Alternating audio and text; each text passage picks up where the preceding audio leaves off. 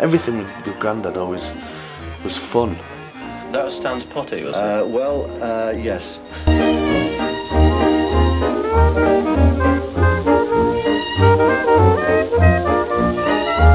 The ideal situation would be to have a museum in the home where Stan was born.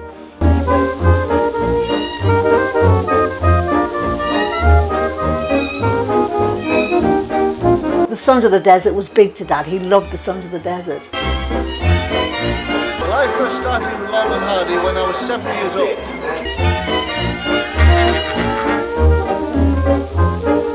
We call it in the family the, the hobby that got out of hand.